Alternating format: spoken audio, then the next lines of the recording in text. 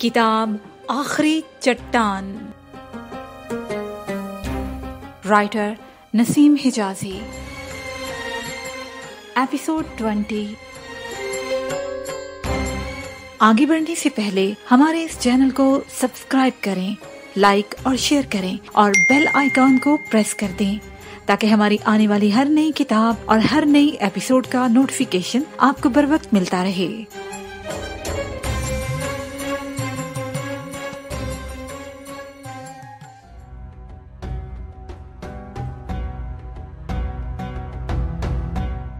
और तुम्हें मुकाबले की दावत देता हूँ और तुम्हें यकीन दिलाता हूँ कि इस दफ़ा तुम्हारी तलवारों के सामने बेकस औरतों और बच्चों की गर्दनों के बजाय तलवारें होंगी। अगर हिम्मत है तो मुकाबले के लिए आ जाओ। चंगेज खान ने शेगी तोतो को एक ज़बरदस्त फौज के साथ जलालुद्दीन के मुकाबले के लिए भेज दिया। सुल्तान ने गजनी से चंद कोस आगे निकलकर उसका मुकाबला किया। तीन दिन तक घमसान की लड़ाई होती रही। तुर्कों और अखबारों ने एक दूसरे से बढ़ चढ़कर बहादुरी के जौहर दिखाए। चौथे दिन तातारियों के पाँव उखड़ गए। सुल्तान कई कोस तक उनका ताकुब करने के बाद उन्हें घेर कर एक ऐसे इलाके में ले आया, जहाँ तंग पहाड़ी रास्ते पर उसने अपने बेहतरीन तीरंदाज बिठा रखे थे। शेगी तोतो की बहुत थोड़ी फौज यहाँ से बच निकलने में कामयाब हुई, लेकिन सुल्तान ने उसका पीछा न छोड़ा और दरियाए काबुल तक ताकुब किया। शेगी ने दरिया में कूद कर जान बचाई। तीरों की बारिश में जब वो दूसरे किनारे पर पहुँचा तो उसके साथ सिर्फ़ आठ आदमी थे। अफ़गानिस्तान में जलालुद्दीन की इस फतह की खबर बिजली की तेज़ी के साथ फैल गई। चंगेज खान को इस शिकस्त की खबर के साथ ये खबर भी मिली कि कोहे हिंदुकश से लेकर दरियाए मुरगाब के साहिल तक तमाम कबाइल के लोग उठ खड़े हुए हैं और उन्होंने तातारियों की हर चौकी के सिपाहियों का सफाया कर दिया है। चंगेज खान ने पहली बार सिर्फ़ एक महाज पर अपनी तमाम कुत जमा करने की ज़रूरत महसूस की। ज़बरदस्त तैयारी के बाद उसने बलख और हरात के दरमियान एक वसी इलाके को तबाह बर्बाद करने के बाद दरिया मरगाब के किनारे पड़ाव डाल दिया और फरगाना से लेकर आजरबाईजान तक बिखरी हुई अफवाज की आमद का इंतज़ार करने लगा। लेकिन ये पहला मौका था कि चंगेज खान को अपनी फतह का पूरा यकीन न था और उसे ये खदशा था कि अगर उसे शिकस्त हुई तो मफतूहा ममालिक के तमाम वो लोग जो अभी तक तातारियों के मजालिम की वजह से सहमे हुए हैं, उसके खिलाफ उठ खड़े होंगे। और जलालुद्दीन ज़मीन के आखिरी कोने तक उसका ताकुब करेगा। लेकिन शायद कुदरत को जलालुद्दीन के अजम इस्तकलाल का एक और इम्तिहान मकसूद था। मुस्तकबिल के उफक पर एक हल्की सी रोशनी देखने के बाद उसे एक बार फिर अदबार की घटाएँ नज़र आने लगी। एक अफसोसनाक हादसे ने शेर खिवारजम की शानदार फतह शिकस्त में तब्दील कर दी। शेगी तोतो की शिकस्त के बाद जो माल गनीमत सुल्तान के हाथ आया, उसमें एक खूबसूरत घोड़ा भी था। इस घोड़े पर अमीन उद्दीन मलिक और सैफुद्दीन अगराक में तकरार हो गई। सैफुद्दीन के मुँह से कोई सख्त जुमला निकल गया और अमीन उद्दीन ने गुस्से में आकर उसे चाबुक रसीद कर दिया। सैफुद्दीन के भाई ने फ़ौरन तलवार खींची और अमीन मुल्क पर हमला कर दिया। लेकिन अमीन की फौज के एक अफसर ने पीछे से तलवार मारकर उसका सर कलम कर दिया। फौज के दो बहादुर सरदारों के दरमियान जंग नागुजीर हो गई। सैफुद्दीन अखराक के चालीस हज़ार और अमीन उद्दीन के पचास हज़ार सिपाही एक दूसरे के सामने सफे बांधकर खड़े हो गए। सुल्तान को अपने खेमे में ये खबर मिली तो वो भाग कर बाहर निकला और उनके दरमियान जा खड़ा हुआ। दोनों को समझाने की कोशिश की। अफ़गानिस्तान के मलिक और उलमा भी उन दोनों अफवाज के दरमियान कतार बाँध कर खड़े हो गए। सुल्तान के हुक्म पर अमीन उद्दीन माजरत खाई के लिए तैयार हो गया, लेकिन सैफुद्दीन के लिए अपने भाई का कत्ल मामूली बात न थी। उसका पहला और आखिरी मुतालबा यही था कि अमीन उल मुल्क को उसके हवाले किया जाए। सुल्तान को एक तरफ़ यह एहसास था कि अमीन उल मुल्क पर सख्ती की गई तो उसके पचास हज़ार सिपाही उसका साथ छोड़ जाएँगे। दूसरी तरफ़ सैफुद्दीन के नाराज़ होने की सूरत में उसे चालीस हज़ार तुर्कों के बिगड़ जाने का खतरा था।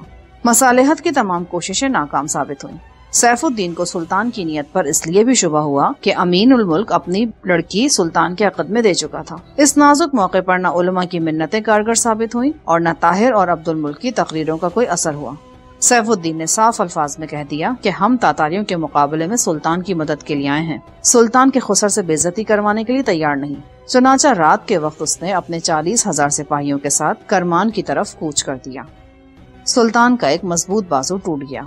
जलालुद्दीन के लश्कर में फूट की खबर सुनते ही चंगेज खान बादोबारा की तरह गजनी की तरफ़ बढ़ा। सुल्तान ने गजनी से कई मनाजिल आगे जाकर पड़ाव डाल दिया और चंगेज खान के रास्ते की हर पहाड़ी, हर घाटी, हर दर्रे और हर नदी के पुल पर छापा मार सिपाहियों के पहरे बिठा दिए। चंगेज खान के साथ एक बेपना कुत थी। वो रास्ते की हर मुश्किल पर काबू पाता, मजाहमत की हर चट्टान को सर निगू करता और कदम कदम पर अपने सिपाहियों की लाशों के अंबार छोड़ता आगे बढ़ रहा था। जलालुद्दीन के छापा मार सिपाही अचानक किसी पहाड़ी पर नमूदार होते और उसकी फौज के किसी हिस्से पर तीरों और पत्थरों की बारिश करके गायब हो जाते। जलालुद्दीन किसी एक मैदान में फैसला कुन जंग लड़ने का फैसला ना कर सका। चंगेज खान के टिड्डी दल अफवाज के साथ उसके मामूली लश्कर को कोई नस्बत न थी। दूसरे चालीस हज़ार तुर्कों के निकल जाने से उसके नए साथियों के हौसले पस्त हो चुके थे। सिर्फ़ पंद्रह बीस हज़ार सिपाही ऐसे थे जिनके मुतालिक उसे यकीन था कि वो फतह और शिकस्त से बेनियाज होकर आखिरी दम तक लड़ेंगे। बाकी फौज के मुतालिक उसका ख्याल था कि वो एक बार बसपा होने के बाद पीछे मुड़कर भी न देखेगी। उसने फौज का बेशतर हिस्सा अमीनुल मुल्क और तैमूर मुल्क के सुपुर्द किया और अपने पुराने जानेसारों के तूफानी दस्तों के साथ आगे बढ़कर चंगेज खान की फौज के हरावल को शिकस्त दी और करीबन पाँच हज़ार सिपाही तहतीक कर दिए। जब चंगेज खान हरावल के सालारों को लानत मलामत कर रहा था तो उसे ये खबर मिली कि जलाल के तूफानी दस्तों ने पहाड़ियों के अकब से एक लंबा चक्कर काटकर अकबी दस्तों पर हमला कर दिया है और रसद का बहुत सा सामान लूट लिया है। मुट्ठी भर जमात के साथ जलालुद्दीन की इन कामयाबियों ने उसकी फौज में एक नई रूप फूक दी। लेकिन तातारियों की कुत का सही अंदाज़ा करने के बाद जलालुद्दीन ने यह फैसला किया कि दरिया सिंध तक पीछे हटता चला जाए और इस दौरान में इसे एक तो मजीद तैयारी का मौका मिल जाएगा, दूसरे अकब से छापा मारने वाली फौजें आए दिन तातारियों के नुकसान में इजाफा करके उन्हें पहाड़ों के उस लामतनाही सिलसिले और आगे बढ़ने का फैसला तब्दील करने पर मजबूर कर देंगी और पसपाई की सूरत में चंगेज खान का अंजाम शेगी तोतों से मुख्तलिफ़ न होगा। सहराय गोभी का गर्ग बारादीदा इन खतरात से बेखबर ना था। उसे मालूम था कि शेर खिवारजम उसे अपनी खतरनाक कछार में ला रहा है। लेकिन आगे बढ़ने के बजाय पीछे हटना ज़्यादा खतरनाक समझते हुए उसने कदम कदम पर सख्त तरीन नुकसान की परवाह न करते हुए अपनी रफ्तार तेज कर दी। जलालुद्दीन ने अमीनुद्दीन और तैमूर मुल्क को हुक्म दिया कि वो फ़ौरन मुस्तकर को छोड़कर अपनी फौजें मशरक की तरफ़ ले जाएँ और खुद आठ हज़ार जाबाजों के साथ तातारियों की रफ्तार कम करने की तदबीर सोचने लगा। एक सुबह तातारी जब सूरज के सामने सर बसजूद थे, जलालुद्दीन ने एक पहाड़ के अकब से नमोदार होकर उनके लश्कर के बाएँ बाजू पर हमला कर दिया। और जब तक दूसरी वादी से कल्बे लश्कर के सिपाही बाएँ बाजू की फौज की मदद के लिए पहुँचे, जलालुद्दीन तीन हज़ार तातारियों को मौत के घाट उतारकर पहाड़ियों में गायब हो चुका था। चंगेज खान ने जलालुद्दीन का पीछा करने के बजाय हरावल के दस्तों को अमीनुद्दीन और तैमूर मुल्क की क्यादत में पीछे हटने वाली फौज का ताकुब करने का हुक्म दिया और बाकी लश्कर की रफ्तार भी तेज कर दी। जलालुद्दीन को एक और मौका हाथ आया और उसने दोपहर के वक्त अकब में नमूदार होकर रसद के दस्तों पर हमला कर दिया। लेकिन अकब की अफवाज रुककर मुकाबला करने के बजाय मदाफियाना जंग लड़ती हुई आगे बढ़ती चली गई जलालुद्दीन ने रसद के सामान से लदे हुए खच्चर मुंतशिर कर दिए और दूर तक तातारियों का पीछा करके उन पर तीर बरसाता रहा। बिला आखिर तीसरे पहर उसने फौज को रुकने का हुक्म देकर एक अफसर से कहा, खुदा खैर करे, मुझे मालूम होता है कि अमीनुद्दीन हिमाकत कर बैठा है। उसने तातारियों के हरावल दस्ते देखकर मेरे हुक्म के खिलाफ उनके साथ लड़ाई शुरू कर दी है, वरना अकब में मेरे हमले के बावजूद तातारियों के ना रुकने की और क्या वजह हो सकती है? तुर्क अफसर ने जवाब दिया, अमीनुद्दीन इतना बेवकूफ़ नहीं, और अगर हो भी तो तैमूर मुल्क जैसा जहाँ दीदा सिपाही उसके साथ है। सुल्तान ने कहा, लेकिन तातारी सामान्य रसद के खच्चर को सौ सिपाहियों से ज़्यादा कीमती समझते हैं। आज उन्होंने मुड़कर भी नहीं देखा। इससे दो ही बातें ज़ाहिर होती हैं। अमीनुद्दीन ने या तो उनके साथ लड़ाई शुरू कर दी है, और या वो उनके नरगे में आ चुका है। हमें फ़ौरन उनकी मदद को पहुँचना चाहिए। जलालुद्दीन के खदशात सही साबित हुए। चंगेज खान के हरावल के चंद दस्तों ने करीबन 20 कोस यलगार करने के बाद अमीनुल मुल्क के लश्कर को जा लिया अमीनुल मुल्क ने यह समझकर कि उनकी तादाद बहुत थोड़ी है और पीछे जलालुद्दीन के हमलों के बायस चंगेज खान इतनी बड़ी फौज के साथ नहायत मामूली रफ्तार से पेशकदमी कर रहा होगा फौज को ठहरने का हुक्म देकर उन पर हमला करना चाहा। लेकिन तैमूर मुल्क ने उस इरादे की मुखालफत की और उसे समझाया कि हरावल को इस कदर तेज़ी से आगे भेजने से चंगेज खान का मकसद इसके सिवा कुछ नहीं हो सकता कि हमारे साथ लड़ाई छिड़कर हमें तातारियों के बाकी लश्कर की आमद तक मसरूफ रखा जाए। बेहतर ये होगा कि आप मुझे 2000 सवारों के साथ इन इन दस्तों से निपटने के लिए पीछे छोड़ दें और अपनी पसपाई जारी रखें। लेकिन अमीनुल मुल्क ने यह मशवरा कबूल न किया और पीछे मुड़कर तातारियों पर हमला कर दिया। तातारी थोड़ी देर मुकाबला करने के बाद भाग निकले। अमीनुल मुल्क ने लश्कर को दोबारा कूच का हुक्म देते हुए तैमूर मुल्क से कहा, देखा आपने? मुझे ये यकीन था कि ये चंगेज खान के हरावल के दस्ते नहीं, बल्कि किसी तरफ़ से कोई और गिरोह इस तरफ़ आ निकला है। चंगेज खान की फौज ने बड़ी तेज़ी से काम लिया होगा तो भी हमसे दस कोस दूर होगी। तैमूर मुल्क ने जवाब दिया, हो सकता है कि आपका ख्याल सही हो, लेकिन हमें जल्दी करनी चाहिए। अमीनुद्दीन ने लश्कर को कूच का हुक्म दिया, लेकिन अचानक उसे करीबन तीन हज़ार तातारी एक पहाड़ी से वादी की तरफ़ उतरते दिखाई दिए। इस दफ़ा तैमूर ने उसे सख्ती से रोकने की कोशिश की, लेकिन जिस कदर तैमूर मुल्क के शकूक पुख्ता हो चुके थे, इसी कदर अमीनुल मुल्क का ये यकीन पुख्ता हो चुका था कि ये मुख्तसर सी फौज किसी और तरफ़ से आ निकली है, और इसका चंगेज खान की बाकायदा फौज के साथ कोई ताल्लुक नहीं, जो कि उसके ख्याल के मुताबिक अभी कोसों दूर थी। अमीनुद्दीन ने तैमूर मुल्क के खदशात को खातिर में न लाते हुए फिर तातारियों पर हमला कर दिया और चंद लम्हात के अंदर अंदर उन्हें रौन डाला, लेकिन उनकी तादाद कम होने के बजाय बढ़ती चली गई। पहाड़ियों से उनके नए दस्ते जौक दर जौक उतरकर वादी में दाखिल होने लगे। करीबन एक पहर लड़ने के बाद अमीन मुल्क ने देखा कि दुश्मन की सफों में दस बारह हज़ार सिपाही जमा हो चुके हैं और उसने परेशान होकर तैमूर मुल्क से सवाल किया, अब हमें क्या करना चाहिए? तैमूर ने गुस्से से अपने होंठ काटते हुए कहा, अब हम कर ही कह सकते हैं? चंगेज खान के हरावल की तमाम फौज इस वादी के गिर जमा हो चुकी है। आसपास की तमाम पहाड़ियों से उन्हें मार भगाए बगैर हम आगे नहीं बढ़ सकते। काश क्या आप मेरा मशवरा कबूल करते। हैं लेकिन अब गलतियों पर इजहार अफसोस का मौका नहीं, तलाफी का मौका है। तो आप रहनुमाई कीजिए। मुझे अब एक सिपाही समझिए। तैमूरुल मुल्क ने अमीन को तीस हज़ार सिपाही देकर आसपास की पहाड़ियों पर कब्जा करने के लिए कहा और खुद बाकी फौज के साथ वादी में उतरने वाली अफवाज के मुकाबले पर डट गया। असर के करीब ये वादी और आसपास की पहाड़ियाँ तातारियों से खाली हो रही थीं। लेकिन इस अरसे में चंगेज खान की बाकायदा फौज पहुँच गई। अमीनुल मुल्क ने अपने तीस हज़ार सिपाहियों के साथ एक पहाड़ी से उतरकर दूसरी वादी में चंगेज खान के लश्कर के दाएँ बाजू पर हमला कर दिया और इसका यह हमला फतेह की ख्वाहिश से ज़्यादा अपनी गलती की तलाफी के लिए था। दूसरी वादी में जहाँ तैमूरुल मुल्क लड़ रहा था, चंगेज खान मुकदमतुल जैश के साथ खुद पहुँच गया। तैमूर ने उसका डटकर मुकाबला किया, लेकिन थोड़ी देर में चंगेज खान के मैसरा की फौज भी इस वादी में पहुँच चुकी थी। तैमूर मुल्क शाम की तारीखी से फ़ायदा उठाने की उम्मीद में लड़ता रहा। दूसरी वादी में अमीनुल मुल्क के पाँव उखड़ चुके थे, लेकिन अचानक जलालुद्दीन के पहुँच जाने से बचे खुचे सिपाहियों ने भाग निकलने का इरादा तर्क किया और जान तोड़कर हमले करने लगे। जलालुद्दीन ने चंद हमलों में मैदान साफ़ कर दिया और अमीनुल मुल्क के करीब जाकर सवाल किया, मुझे तुम्हारी हिमाकत की सजा मिली है? या कुदरत ने मेरी बदकिस्मती में इजाफा करने के लिए तैमूर मुल्क जैसे जहादीदा सिपाही के दिमाग में भी जुनून के आसार पैदा कर दिए? अमीनुल मुल्क ने निदामा से सर झुकाकर जवाब दिया, ये मेरा कसूर है। तैमूर मुल्क ने मुझे मना भी किया था। मैंने उसका कहा नहीं माना। मुझे यकीन था कि तातारी बहुत दूर होंगे। खुदा हर इंसान को तुम्हारे जैसे अहमकों की दोस्ती से महफूज रखे। अब मैं तुम्हें काम सौंपता हूँ। तुम फ़ौरन गजनी की तरफ़ रवाना हो जाओ और मेरे बीवी बच्चों को लेकर किसी महफूज मकाम की तरफ़ निकल जाओ। अहले शहर को भी ये मशवरा दो कि वो हिंदुस्तान की सरहद की तरफ़ निकल जाएँ।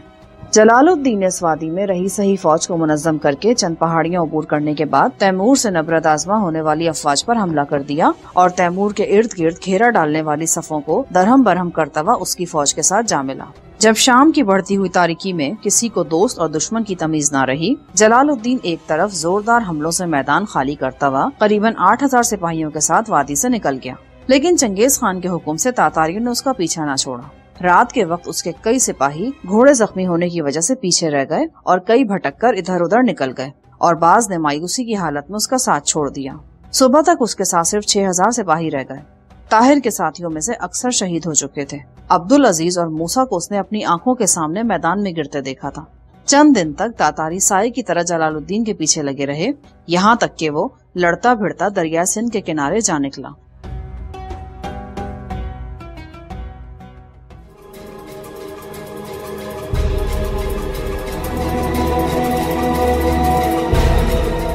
दयार गैर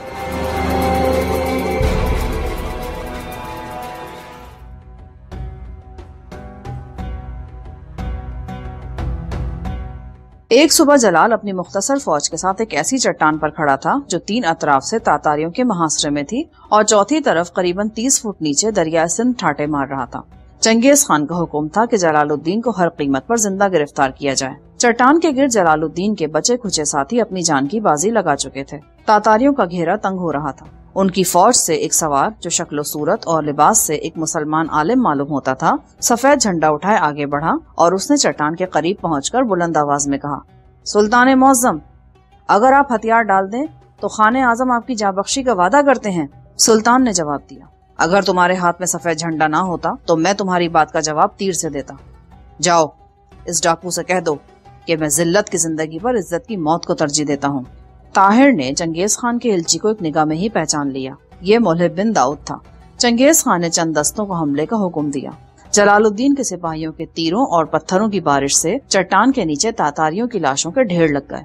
चंगेज खान ने यह देखकर ज़्यादा सिपाही भेज दिए। जलालुद्दीन के सिपाही एक एक करके कटने लगे। वो पीछे हटते हटते चट्टान के आखिरी सिरे तक पहुँच गया। सुल्तान ने तैमूर से कहा, तैमूर कुदरत ने हमें आग और पानी में से एक शय मुंतखब करने पर मजबूर कर दिया है। तुम्हारी राय क्या है? तैमूर ने जवाब दिया, मुझे यकीन है कि पानी की लहरें आग के शोलों की तरह बेरहम साबित नहीं होंगी। बहुत अच्छा मैं रहनुमाई करता हूँ। तुम सिपाहियों को तैयार होने का हुक्म दो। सुल्तान ने भारी जर्रा उतार कर फेंक दी, घोड़े को आगे बढ़ाया और एक लम्हा खौफनाक लहरों को देखने के बाद एड़ लगा दी। तैमूर मलिक ने चंद आदमियों के सिवा तमाम सिपाहियों को दरिया में कूदने का हुक्म दे दिया। जब अपनी बारी आई तो तैमूर की निगाह ताहिर पे जा पड़ी। वो चंद कदम के फासले पर घोड़े की गर्दन पर सर टेके हुए था। उसकी जरा में चंद तीर अटके हुए थे और उसका वफादार नौकर जैद नेजे के साथ दो तातारियों को रोकने की कोशिश कर रहा था। तैमूर मुल्क घोड़ा बढ़ाकर आगे बढ़ा और तातारियों में से एक की गर्दन उड़ा दी। दूसरे तातारी को जैद नीचे गिरा चुका था। इतनी देर में चंद तातारी और पहुँच गए। तैमूर ने ताहिर को खींचकर अपने घोड़े पर डालते हुए जैद और बाकी सिपाहियों को दरिया में कूदने का हुक्म दिया और खुद भी अपने घोड़े को चट्टान के सिरे पर ले जाकर एड़ लगा दी। अब्दुल मुल्क दरिया के किनारे तजब्जब की हालत में खड़ा था, लेकिन जब ताहिर को तैमूर की हिफाजत में देखा तो उसने भी छलांग लगा दी। चंगेज खान ने खिवारजम शाह को ज़िंदा पकड़ने की नीयत से अपने सिपाहियों की मामूली तादाद चट्टान पर हमला करने के लिए रवाना की थी। जब तातारी चट्टान के ऊपर खड़े होकर दरिया की तरफ़ इशारे करके चिल्लाने लगे तो वो भागता हुआ चट्टान पर चढ़ा। जलालुद्दीन के अक्सर साथी तातारियों के तीरों और बास दरिया की तुंदो तेज मौजों का शिकार हो चुके थे। लेकिन जलालुद्दीन तीरों की जद से दूर जा चुका था। वो दूसरे किनारे पर पहुंचकर एक टीले पर चढ़ा और इत्मीनान से बैठ गया। चंगेज खान ने अपने बेटों और सरदारों से मुखातिब होकर कहा खुश नसीब है वो बाप, जिसका बेटा जलालुद्दीन जैसा हो, और मुबारक है वो माए, जो ऐसे शेरों को दूध पिलाती हैं। चंगेज खान के बाद सिपाहियों ने जलालुद्दीन के ताकुब में दरिया उबूर करने की इजाज़त मांगी, लेकिन उसने कहा, ये दरिया तुर्किस्तान के छोटे छोटे दरियाओं से मुख्तलिफ़ है और दुश्मन के तरकश तीरों से खाली नहीं। तैमूर मुल्क ने ताहिर को दरिया के किनारे लेटाकर उसकी जरा खोली, जख्मों पर पट्टियाँ बांधी और कहा, ताहिर, अब तुम्हारी तबीयत कैसी है? उसने उठकर बैठते हुए जवाब दिया, मैं बिल्कुल ठीक हूँ। मुझे सुबह से पानी पीने का मौका नहीं मिला था, इसलिए भूख और प्यास की वजह चक्कर आ गया था। दरिया में ठंडा पानी मैंने जी भर कर पिया है। करीबन सात सौ सिपाही दरिया उबूर करके जलालुद्दीन से जा मिले सुल्तान ने इर्द गिर्द की बस्तियों पर कब्जा करके सामान रसद और चंद घोड़े फराहम किए और कोहिस्तान नमक के आस पास एक छोटे से इलाके पर कब्जा कर लिया। चंद दिनों में उसकी फौज के मुंतशिर सिपाहियों की चंद और टोलियाँ भी उससे आ मिली। चंगेज खान ने चंद कोस नीचे जाकर कश्तियाँ फराहम की और एक तजुर्बेकार जर्नैल को अपने बेहतरीन सवारों की फौज देकर दरिया के पार पहुँचा दिया। जलालुद्दीन ने मायूसी की हालत में दिल्ली का रुख किया। तातारी हिंदुस्तान की नाकाबले बर्दाश्त गर्मी में दूर तक उसका पीछा ना कर सके। वो मुल्तान, लाहौर और शाहपुर के इलाकों में लूट मार करके वापस चले गए। वापसी पर पिशावर को तबाह वीरान करने के बाद चंगेज खान ने समरकंद का रुख किया। अफ़गानिस्तान के तबाहशुदा इलाकों में से दोबारा गुजरते हुए उसने रहे सहे इन तमाम मर्दों को, जो उसके हाथ लगे, कत्ल करा दिया और बेशुमार औरतों को अपने साथ ले गया। दरिया सिंध के किनारे से लेकर बहर खजर तक तमाम इस्लामी ममालिक पर तातारियों का तसल्लुत हो चुका था। अफ़गानिस्तान से इंतकाम लेने के बाद चंगेज खान को इतमान हो चुका था कि अब मुसलमानों में सर उठाने की हिम्मत नहीं। सिर्फ़ जलालुद्दीन एक ऐसा दुश्मन था, जिसे वो तमाम दुनिया से ज़्यादा खतरनाक समझता था। लेकिन उसके पास कोई मुल्क था, न फौज। आलम इस्लाम की मदाफत का आखिरी किला मिसमार हो चुका था। पेशावर के करीब तातारियों के हाथों उसके बच्चे और बीवी, जो अमीनुल मुल्क की हिफाजत में थे, कत्ल हो चुके थे। तक्षी खानदान का वो आखिरी चश्मो चिराग, जिसकी ममलिकत चंद बरस कबल कोहे अलबर्स से लेकर सिंध के साहिल तक फैली हुई थी, एक बेखानमा मुसाफिर और एक बिन बुला मेहमान की हैसियत से दिल्ली के हुक्मरान सुल्तान शमसुद्दीन अल्तमिश की ममलिकत में पनाह ढूंढ रहा था, लेकिन उसे खैर मकदम की उम्मीद न थी। जलालुद्दीन ने दिल्ली से चंद मनाजिल के फासले पर पड़ाव डालकर अपने एक तजुर्बेकार मुशीर एनुल मुल्क और ताहिर बिन यूसुफ की रहनुमाई में सुल्तान शमसुद्दीन अल्तमिश की तरफ़ एक वफ्त रवाना किया। एनुल मुल्क और उसके साथियों को शाही मेहमान खाने में ठहराया गया। सुल्तान अल्तमिश ने उनके साथ तीन मुलाकातों के बाद उन्हें चंद दिन तक जवाब देने का वादा किया। अपने तमाम मुशीरों और फौजी अफसरों से सलाह मशवरा करने के बाद सुल्तान ने एक दिन अरकान वफ्त में से ताहिर बिन यूसुफ को अलहदा मुलाकात की दावत दी और एक तवील गुफ्तगु के बाद कहा, हम जलालुद्दीन की मदद से इनकार नहीं कर सकते, लेकिन हमारी मजबूरी आपसे पोशीदा नहीं। हमारे पास चंगेज खान का पैगाम पहुँच गया है। उसने लिखा है कि अगर हमने सुल्तान जलालुद्दीन को पना दी या उसके साथ तातारियों के खिलाफ कोई माहिदा किया तो वह हिंदुस्तान पर हमला कर देगा। हम ऐसी धमकियों की परवाह करने वाले नहीं। ताहम सुल्तान जलालुद्दीन को इस बात का एहसास होना चाहिए कि इस मुल्क में मुसलमानों की आबादी आटे में नमक के बराबर है। अगर तातारी यहाँ घुस आए तो खतरे के वक्त शायद यहाँ की दूसरी अकवाम हमारा साथ देने के बजाय उनके साथ जा मिले हमें चंद हिंदू राजाओं ने यकीन दिलाया है कि तातारियों के हमले की सूरत में वो अपने घरों की हिफाजत के लिए हमारा साथ देंगे। लेकिन अगर चंगेज खान ने उन्हें ये पैगाम देकर कि उसका मकसद सिर्फ़ जलालुद्दीन को गिरफ़्तार करना है। तो वो यकीनन हमसे ये मुतालबा करेंगे कि हम इस मेहमान को पना देकर हिंदुस्तान की तबाही का मौजब ना बने। अगर हमारे पास ज़्यादा अफवाज होती तो हम आधे लश्कर के साथ सुल्तान जलालुद्दीन के झंडे तले हिंदुस्तान से बाहर निकलकर तातारियों का मुकाबला करते और आधा लश्कर हिंदुस्तान की हिफाजत के लिए छोड़ देते। लेकिन यहाँ मामला बरक्स है। पिछले दिनों तातारियों के चंद दस्ते दरिया सिंध उबूर करने के बाद लाहौर और मुल्तान तक लूट मार कर गए थे। और हमें उनकी पेशकदमी रोकने से ज़्यादा इस बात की फ़िक्र थी कि कहीं हमारी गैर मुस्लिम रियाया बाकी न हो जाए। एनुल मुल्क ने हमें ताना दिया है कि हम तातारियों से खौफजदा हैं। हम इस बात का जवाब दूसरों के सामने नहीं दे सकते। लेकिन हम आपसे कहते हैं, तातारियों से खौफ खाने की वजह यह नहीं कि हम बुजदिल हैं। इसकी वजह सिर्फ़ ये है कि हम अपनी रैयत से मुतमिन नहीं। ताहिर ने पूछा तो क्या मैं सुल्तान जलालुद्दीन के पास ये जवाब ले जाऊँ? कि आपको इनका हिंदुस्तान में ठहरना मंजूर नहीं? नहीं। आपने हमें गलत समझा।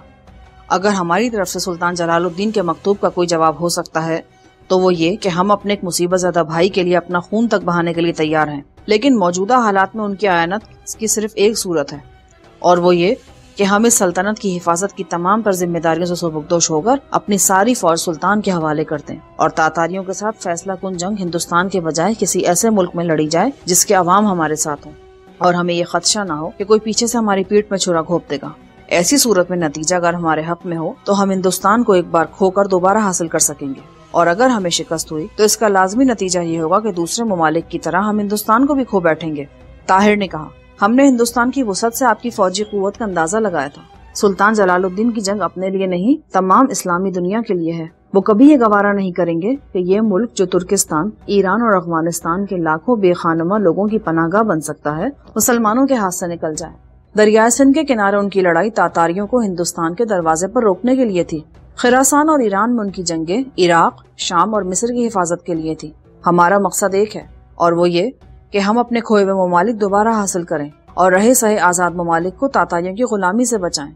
और इस मकसद के हसूल का एक और रास्ता भी है, और वो ये कि हम जमुना के साहिल से लेकर जबल तारिक तक एक कतार में खड़े हो जाएँ। हमारा हर मुल्क इस इज्तमाही जद्दोजहद में अपनी इस्तात के मुताबिक हिस्सा ले। सुल्तान का ख्याल ये था कि वो आपके ताबन से हिंदुस्तान को अपनी सरगर्मियों का मरकज बनाकर एक बार फिर तमाम इस्लामी सल्तनतों को दावत अमल देंगे। अगर आलम इस्लाम ने उनकी दावत पर लब्बैक कहा तो बहुत थोड़े अरसे में यहाँ सिपाही जमा हो सकते हैं।